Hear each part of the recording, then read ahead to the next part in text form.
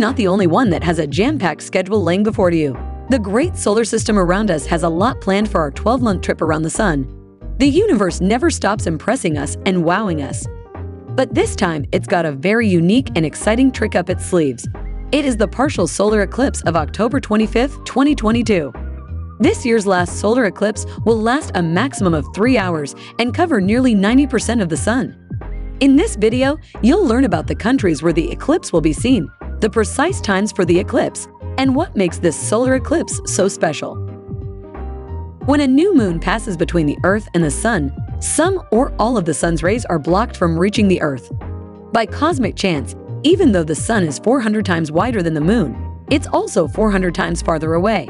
Therefore, the two objects appear to be the same size in our sky. Because the Earth and Moon have very predictable orbits, astronomers can very easily forecast eclipses. Why aren't there eclipses every month then? In regard to the Earth, the Moon's orbit is normally inclined a few degrees north or south. This causes the Moon to be slightly above or below the eclipse line. Typically, there are three types of solar eclipses. The most breathtaking is a total solar eclipse. It occurs when the surface of the Sun is fully covered by the Moon, you can only observe a total eclipse if you're standing in the umbral shadow. As a result, the path of totality refers to the imaginary line generated by this shadow as it travels around Earth.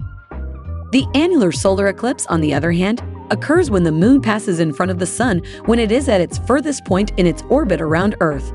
Unlike a total eclipse, the moon in this eclipse appears to be a little smaller and incapable of covering the entire solar disk.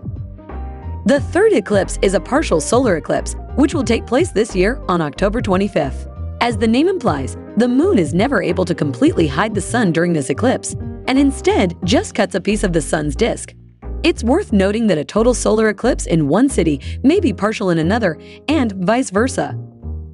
Here is an animation to help you visualize the path of the eclipse on the 25th of October. However, the solar eclipse will only be visible in some parts of the world. The list of the places includes Nordic countries, parts of Europe, Russia, Iran, Iraq, Uzbekistan, Afghanistan, Pakistan, and India. Let us now look at the exact timings of this solar eclipse in some locales of the world.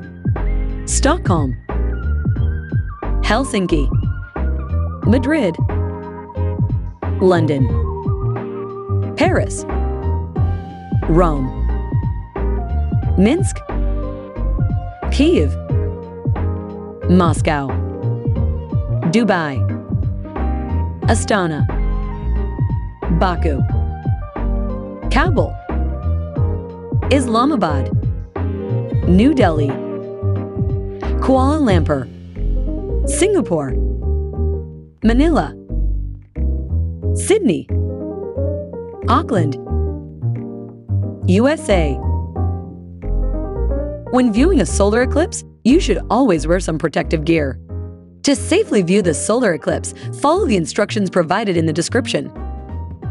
The next solar eclipse won't be visible until the latter months of 2023, so don't miss this incredible phenomenon. I would strongly recommend inviting your friends and family to witness this spectacular astronomical phenomenon in your backyard.